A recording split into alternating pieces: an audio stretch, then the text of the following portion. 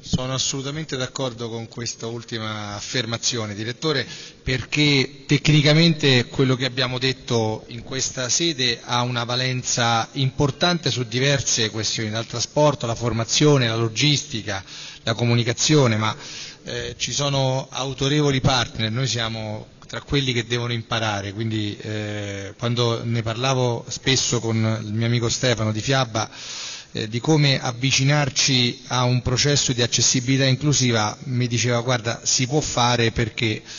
eh, c'era sempre il dubbio, la difficoltà perché è un tema estremamente complicato che abbiamo sempre visto con grandissima attenzione anche non propriamente da vicino, però ci abbiamo sempre provato con innumerevoli insuccessi. Diciamo che viene il momento adesso di portare un'idea, una proposta e il Giubileo rappresenta eh, il momento più importante, più intenso e più significativo, un momento di assoluto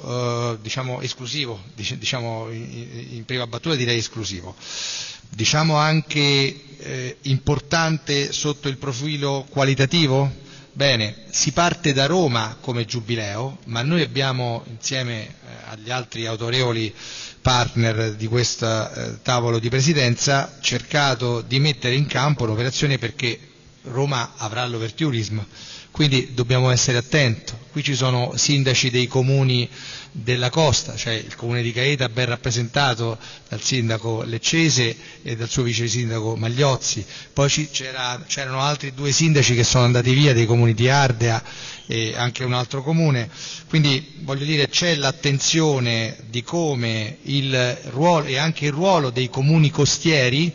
può supportare Roma, perché non ci dimentichiamo che per noi gli spazi sono semplici. Se mi dicessero domani mattina fai 100 km per andare eh, so, a Gaeta mi rimarrebbe complicato perché devo pensare di prendere la macchina, invece per un certo tipo di turismo, i, i famosi 35 milioni che transiteranno su Roma,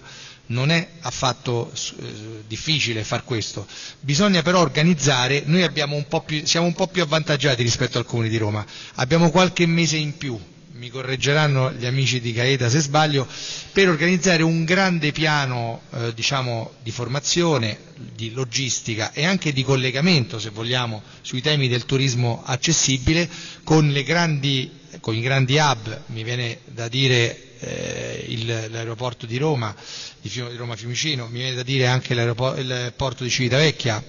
e tanti altri hub che possono concorrere effettivamente ad organizzare questa, questa piattaforma. Il sindaco di Roma ha detto che bisogna lanciare un patto per il mare, bene, l'abbiamo raccolto, quando l'ha detto l'abbiamo raccolto, però partiamo da alcuni principi,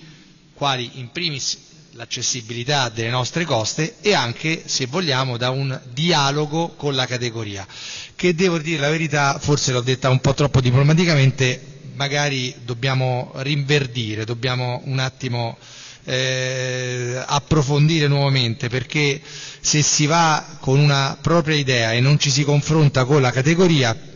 diventa problematico andare avanti, diciamo, è difficile. Quindi noi quello che diciamo, poi è presente anche il presidente di Federbalneari Roma in sala, Massimo Muzzarelli, che saluto, perché eh, il sindaco ha lanciato quest'idea della riqualificazione del lungomare, ma noi abbiamo anche detto pronti a dialogare per un patto per il mare di Roma. È raccolta la sfida, quindi siamo pronti a metterci seduti attorno ad un tavolo in modo serio questa volta e concreto. Avremo poco tempo? Sì sicuramente, però dovremo per forza confrontarci, perché voi immaginate un giubileo senza il mare di Roma, o meglio senza l'organizzazione dei servizi. Cioè il turista che scende sulla spiaggia troverà un, una serie di cantieri e una serie di realtà chiuse che non sono messe né a sistema né a norma per affrontare un, un, un evento così significativo. Mi viene da sorridere, insomma, allora dico, questo è il momento di sederci effettivamente attorno a un tavolo e di individuare i punti di forza e di criticità da superare anche per il mare di Roma, perché lui giustamente ha sottolineato l'importanza del mare di Roma, noi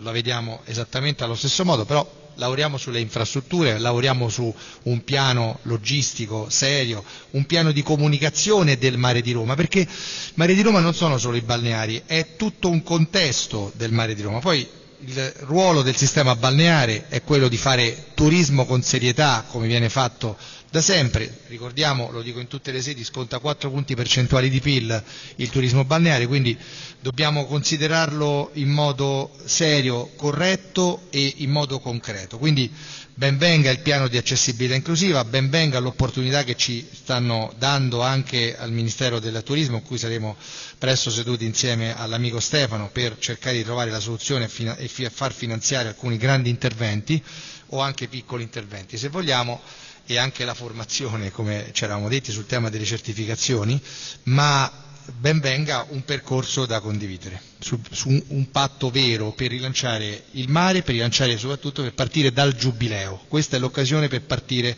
e fare veramente qualcosa di buono tutti insieme. Grazie. Grazie.